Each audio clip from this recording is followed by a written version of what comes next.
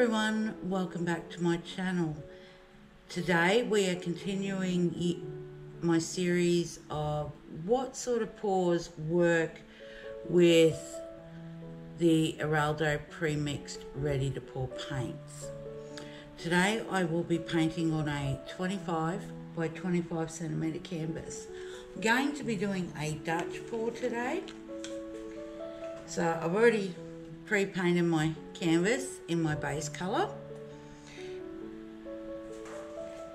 So today my base colour is going to be rose and then my colours today are going to be purple, metallic gold, off-white and turquoise.